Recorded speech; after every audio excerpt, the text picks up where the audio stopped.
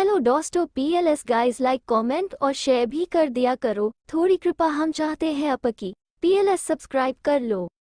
कल्कि और रुद्र एक साधारण से इंसान थे। इससे ज़्यादा कुछ नहीं, उनका घर आदित्य जी की कमाई से चल रहा था। और रुद्रा अपनी जॉब के लिए ट्राई कर रहा था। उनकी पूरी फ़ाइल पढ़ने के बाद अश्व को एक आइडिया आता है। अश्व अपने आदमी को कुछ इशारा करता है और वो आदमी वहाँ से निकल जाता है। अब आगे इस आदमी के जाने के बाद अश्व फ़ाइल पढ़ने लगता है। फ़ाइल पढ़ते पढ़ते अश्व के चेहरे पर एक अजीब सी मुस्कान आ जाती है। अब तुम लोगों को पता चलेगा, अश्व आहूजा से पंगा लेने का मतलब अपनी ज़िंदगी खुद अपने हाथों से बर्बाद करना, और वो तुम कर चुके हो। अब तुम लोग दिखाना तुम्हारे अंदर कितना टैलेंट है। अश्व बोला और फ़ाइल को ज़ोर से नीचे पटक दिया। अश्व किसी को कॉल करके बोला, सुनो, मैं तुम्हें किसी की डिटेल्स भेज रहा हूँ। तुम्हें उसकी पूरी ज़िंदगी बर्बाद करनी है। इस तरह बर्बाद करनी है। वो चाहकर भी सुधार न पाए। ओके बॉस, बोलकर फ़ोन काट जाता है। अश्व दोबारा किसी को कॉल कर बोला, हेलो मिस्टर अवस्थी, मैं आपके कॉलेज में कुछ इन्वेस्ट करना चाहता हूँ। आखिर मैं भी तो उसी कॉलेज में पढ़ा हूँ। कॉलेज की याद है, जो मुझे अपने कॉलेज के पास बुलाती है। यस मिस्टर आहूजा, ये तो हमारे सौभाग्य की बात होगी। इतने बड़े कॉलेज में आपका कंट्रीब्यूशन कॉलेज को और भी ज़्यादा एक्सपेंड करेगा। मिस्टर आहूजा हमारे कॉलेज की एक न्यू ब्रांच मुंबई में ओपन हुई है और बहुत अच्छा परफॉर्मेंस दे रही है। मैं आपको सजेस्ट करूँगा कि आप वहाँ की ब्रांच में इन्वेस्ट करें, मिस्टर अवस्थी ने कहा। मिस्टर अवस्थी, मुझे आपसे एक हेल्प चाहिए थी। मुझे किसी स्टूडेंट की इन्फॉर्मेशन चाहिए थी। दरअसल मेरे ऑफ़िस में हमारे बहुत पुराने एम्प्लॉय के बेटे ने आपके कॉलेज के लिए अप्लाई किया है। मुझे जानना था, उसे इंडिया की कौन सी ब्रांच मिली है? या शो, आप मुझे उसकी डिटेल्स दे दीजिए। मैं आपको अभी बता देता हूँ, मिस्टर अवस्थी ने कहा। अश्व, अपने फ़ोन से अवस्थी को मैं कर देता है। मैं टोन के साथ ही अवस्थी के हाथों की उंगलियाँ कीबोर्ड पर नाचने लगती है। Mister Ahuja I catch him and he is a brilliant student और वो हमारे कॉलेज में एडमियन ले रहा है। ये हमारे कॉलेज के बेस्ट थिंग्स कल की वालिया को मुंबई ब्रांच मिली है। मिस्टर अवस्थी ग्लैड होकर बोले। थैंक यू मिस्टर अवस्थी, आपने मेरी बहुत हेल्प की है। वो मेरे एम्प्लॉय बहुत ही ज़्यादा खुददार है तो वो मेरी हेल्प नहीं लेंगे इसलिए मैं मुंबई ब्रांच में इन्वेस्ट करूँगा, साथ ही उसे लड़के की हेल्प भी हो जाएगी, बोलकर अश्व फ़ोन काट देता है। मिस्टर अवस्थी सोचते हैं, मिस्टर अहूजा बहुत ही दरिया दिल है, लेकिन वो इस बात से अनजान है, अश्व के दरिया दिल में मगरमच्छ भी है, वो भी खतरनाक वाले। दूसरी तरफ़, वो वकील रीवा के पैर पकड़कर माफ़ी मांग रहा था, लेकिन रीवा का मूड उसे अच्छी तरह से पीटने का कर रहा था। लेकिन अपनी मम्मी को दिए प्रोमिश की वजह से वो शांत रहती है। वो सिर्फ़ सुशांत को देख रही थी। अबे चल हमारी दीदी जी के पैरों को गंदा मत कर, बोलकर सुशांत इस वकील के कॉलर को पीछे से पकड़कर घसीटता हुआ बाहर ले जाता है। वकील को बाहर फेंक कर बोला, तूने बहुत गलत पंगा ले लिया, वकील शुक्र मना, तू सलाखों के पीछे नहीं है। तेरा सिर्फ़ लाइसेंस कैंसिल हुआ है। कितनी बड़ी तोप है तेरी दीदी। वकील झल्ला कर बोला कानून उनकी उंगलियों पर नाचता है बे, और तू उन्हीं को कानून सिखा रहा था। चल भाग यहाँ से, अगर तुझे अपनी हड्डियाँ नहीं तुड़वानी तो सुशांत गुर्रा कर बोला। वकील की बोलती बंद हो जाती है, और वो चुपचाप वहाँ से चला जाता है। फैमिली मेंबर्स को छोड़कर सभी गेस्ट जा चुके थे, रीवा शर्मा कर सबसे मिल रही थी। रीवा का ऐसा रूप देखकर रोमिल अपनी आँखों में चमक और आँसू दोनों लेकर रीवा को देख रहे थे। आद्या रोमिल के कंधे पर हाथ रखकर बोली हमारी रीवा कितनी प्यारी लग रही है। और खुश भी, उसके बचपन का प्यार उसे मिल गया। आखिरकार हमारी रीवा में थोड़ा सा बदलाव आ ही गया, और बहुत जल्दी वो एक प्यारी लड़की में बदल जाएगी। मुझे मेरी बेटी किसी प्रिंसेस से कम नहीं लग रही है। देखो, इन कपड़ों में वो कितनी खूबसूरत लग रही है। एक मिनट रोमिल चौंक कर बोले, रीवा यहाँ साड़ी पहन कर आई थी और मैं उसे जी भर कर देख भी नहीं पाया। मेरी बच्ची बहुत प्यारी लग रही थी। मैं सीसीटीवी फुटेज में देख लूँगा। रोमिल का बिहेवियर देखकर आद्या को अपने दूसरे बच्चे की उम्मीद जागने लगी। उनकी आँखों में अपने पहले हनीमून की सारी यादें घूमने लगती है। स्वीट मेमोरी से आद्या के गाल गुलाबी हो जाते हैं। आद्या रोमिल का हाथ पकड़कर बोली, हमारी बेटी सच में बहुत टैलेंटेड है। हमें एक और बेबी के बारे में सोचना चाहिए। प्रतिज्ञा और मैं फिर से ट्राई करना चाहते हैं। और अब रीवा भी पराए घर की हो गई है। आद्या की बात सुनकर रोमिल इमोशनल हो जाते हैं। रीवा सबसे मिल ज़रूर रही थी, लेकिन उसका ध्यान अपनी माँ की तरफ़ ही था। रोमिल आद्या को गले लगा कर बोले हाँ हमें अब रीवा छोड़कर चली जाएगी।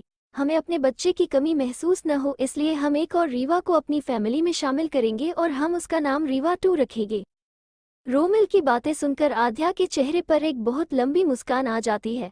आध्या एक लंबी स्माइल करके रीवा को देखती है। दूसरी तरफ़, रैबिट रुद्र के पास आकर खड़ी हो जाती है। और बड़े प्यार से उसके हाथ को पकड़ लेती है। रुद्र रैबिट को देख लेता है, लेकिन कुछ रिएक्ट नहीं करता। रैबिट को ये सब करना बहुत अच्छा लग रहा था।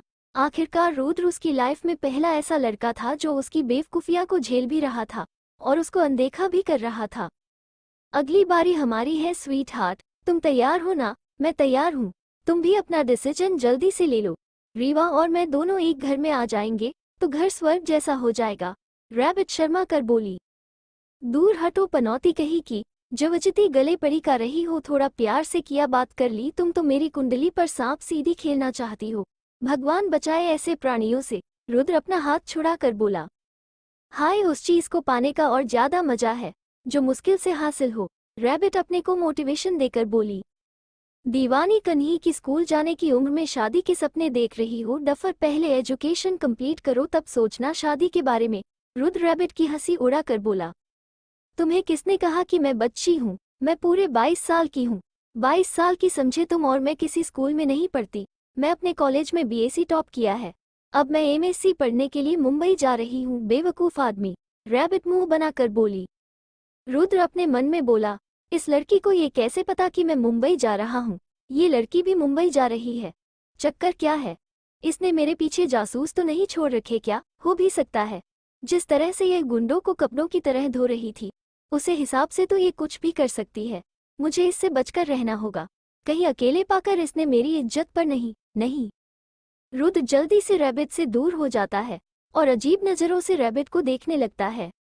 आदित्य रुद्र के पास आकर बोले, बेटा, अब हमें चलना चाहिए। अब तो शादी भी हो गई, हमें रोमिल जी से बोलना चाहिए कि वो अपनी बेटी को विदा कर दे। हम रीवा को अपने साथ अपने घर ले चलेंगे। हाँ पापा, मैं अभी बात करता हूँ। बोलकर रुद्र रोमिल जी की तरफ़ चला जाता है। कल की रीवा के पास आकर बोला, बटरफ्लाई, अब हमें अपने घर चला चाहिए। अब सब कुछ हो गया, अब हम घर चलते हैं कल की नेता ही कहा था, उसके फ़ोन पर कॉलेज अलॉटमेंट का मैसेज आ जाता है। कल की जल्दी से अपना मैसेज बॉक्स ओपन करके देखता है तो उसमें उसे कॉलेज मुंबई ब्रांच वाला ही मिला था, जैसा कि अवस्थी ने अश्व से कहा था। रीवा भी अपनी एक आईब्रो उचका कर मोबाइल में उस मैसेज को पढ़ लेती है। रीवा मन में बोली ओ, मिस्टर हस्बैंड को मुंबई ब्रांच मिली है। वो भी मेरा ही कॉलेज। अब तो उनके साथ पढ़ने में और भी ज़्यादा मज़ा आएगा। Butterfly why are you smiling कल्की ने कहा when you call me by a new name I felt very good and felt special Reeva कल्की के दोनों हाथ पकड़कर बोली। कल्की मुस्करा कर सबके सामने रीवा के माथे पर किस करके बोला you are special for me you know it very well सारी लड़कियाँ कल्की को बहुत ही प्यार से देख रही थी। एक उन्नीस साल की क्यूट सी लड़की रीवा के पास आकर बोली, दीदी जी, आपके हस्बैंड तो बहुत ही प्यारे हैं। आप दोनों की जोड़ी यूनिवर्स में सबसे अच्छी है। ये मेरी तरफ़ से आपके लिए छोटा सा गिफ्ट दीदी, आप बहुत प्यारी लग रही है। इंडियन ड्रेस में। बानी उम्र उन्नीस साल, बहुत क्यूट हाइट पाँच फुट तीन इंच, रंग गोरा कंधे तक बाल, काली आँखें पेंटिंग बनाने में गोल्ड मेडलिस्ट बानी ने रीवा और कलकी की शादी के जोड़े में एक पोर्ट्रेट बनाई थी। जो दिखाने में एकदम जीती जागती लग रही थी। कलकी उसे पोर्ट्रेट को देखकर बोला यू आर वेरी टैलेंटेड बानी बहुत खूबसूरत पोर्ट्रेट बनाया है। तुम्हें तो आर्ट में अपना फ्यूचर बनाना चाहिए। हाँ जीजा जी मैं परसों अमेरिका जा रही हूँ। वहाँ मुझे अपनी आर्ट एग्जिबिशन के लिए बुलाया गया है। देखना, जीजू, मैं जीत कर ही आऊँगी। बानी एक्साइटेड होकर बोली, तू ही जीतेगी मेरी बिल्लो ओम माँ। रीवा ने बानी के सिर को चूमते हुए बोला कलकी भी बानी के सिर पर हाथ रखकर उसका सिर सहला देता है। कलकी का अच्छा नेचर देखा कर सभी सर्वेंट कुछ न कुछ कलकी और रीवा के लिए लेकर आने लगे। कलकी और रीवा के पास बीस, पच्चीस लोगों की भीड़ जमा हो जाती है। उन सब में से एक ने कहा, हमारी दीदी की तरह हमारे जीजा जी भी बहुत अच्छे हैं। हमें तो डर लग रहा था। कहीं हमारे जीजा जी घमंडी ना हो और हमारे दीदी से शादी करने के बाद वो बदल ना गए हो। तो एक ने कहा मुझे तो ऐसा लग रहा था जीजा जी जितनी सुंदर है ना उसके ओलाती का नेचर होगा मतलब जितने सुंदर जीजा जी उतने ही खड़ूस इनका नेचर, लेकिन नहीं तो बहुत ही अलग है, ये तो बिल्कुल हमारे जैसे हैं, और हमारी दीदी तो दुनिया में सबसे प्यारी है, अब तो हमें सबसे प्यारी जीजा जी भी मिल गए हैं। कल्कि उन लोगों की बातें सुनकर बहुत ज़ोर से हंसने लगता है। कल्कि ने ऐसी बातें पहले कभी अपनी ज़िंदगी में नहीं सुनी थी, कि कोई पहले से ही किसी के बारे में ऐसी धारणा बना सकता है। रीवा कल्कि की मुस्कान को देखती रह जाती है। रीवा के जैसा अब्बा हाल था। सब जैसे एक पल के लिए जम ही गए हो। रोमिल का रिएक्शन तो ऐसा था जैसे उन्होंने आज से पहले ऐसी कन्ही नहीं देखी, लेकिन आध्या को वो हँसी कुछ जानी पहचानी लगी थी। आध्या ने प्रतीक की तरफ़ देखा, कल्कि और प्रतीक की हँसी एकदम सेम थी। आज प्रतिज्ञा का बेटा ज़िंदा होता हो बिल्कुल कल्कि जैसा ही होता। किस्मत की बात है, प्रतीक का बेटा आदित्य जी के घर ही पैदा होना था। आद्या अपने मन में बोली, आदित्य जी रोमिल के पास आकर बोले, रोमिल जी हमें इजाज़त दीजिए। अब कुछ अच्छे से हो गया है तो हम अपनी बेटी को अपने साथ ले जाना चाहते हैं। रोमिल जी आदित्य को गले लगा बोले, आप अपनी बेटी को ले जाइए, लेकिन हमारे बेटे को आप साथ बेटे को खाली हाथ कैसे ले जा सकते हो हो? रोमिल की बात सुनकर आदित्य उन्हें कंफ्यूज होकर देखने लगते हैं। रोमिल एक फ़ाइल आदित्य जी को देकर बोले, कल की अब हमारा बेटा है। कल की अपनी स्टडी कंप्लीट करने के बाद अपनी कंपनी संभालेगा। और ये गिफ्ट मेरी तरफ़ से अपने बेटे और बहू के लिए, प्रतीक एक फ़ाइल आगे करके बोले। आदित्य जी तो बहुत हैरान हो रहे थे। आखिर ये सब क्या हो रहा है? आद्या आगे आकर रुद्र को एक बॉक्स देकर बोली, और ये गिफ्ट आपकी बेटी के बड़े भाई के लिए। देखो बेटा इसे लेने से मना मत करना कलकी की तरह आप भी मेरे बेटे हो तो अपनी माँ का मान रख लो पीएलएस बेटा। रुद्र उस बॉक्स को ले लेता। अब प्रतिज्ञा आगे आकर बोली, रुद्र बेटा, तुम हमारे बेटे हो, और बड़े दामाद भी मतलब दूल्हे का भाई भी हमारे यहाँ दामाद ही होता है। ये छोटा सा गिफ्ट तुम्हारे लिए। पीएलएस बेटा लेने से मना मत करना आदित्य जी अपनी खुददारी दिखाकर बोले, हमें ये सब नहीं चाहिए। हमें सिर्फ़ हमारी प्यारी रीवा चाहिए। भाई साहब, आप किन पुरानी बातों में फंसे हुए हैं? जिस तरह हमारी बेटी आपकी हुई, वैसे ही आपके बेटे अब हमारे हैं। आप अपनी बेटी संभालिए और हम अपने बेटे को संभालेंगे। तो आदित्य जी, अब आप सिर्फ़ एक बेटी के बिना है और हम दो बेटों के पिता है।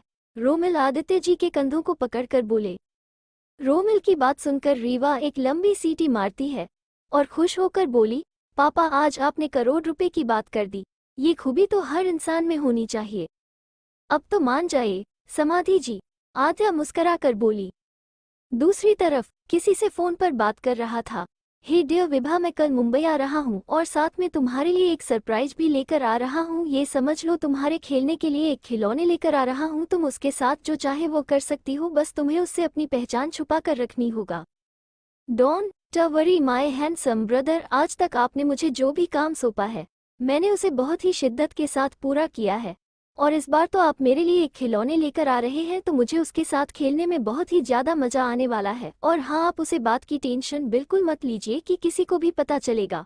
विभा बहुत एटीट्यूड से बोली, मुझे पता था कोई मेरा साथ दे या ना दे, लेकिन तुम मेरा साथ ज़रूर दोगी। अश्व ने कहा हाँ बिल्कुल, आप मेरे भाई हो, मेरे हर क्राइम में मेरा साथ देते हो तो आपके लिए इतना करना तो बनता है। ना, विभा हँसते हुए बोली एक प्रोमिस करो कि तुम उस खिलौने को कभी चैन से नहीं जीने दोगी। To be continue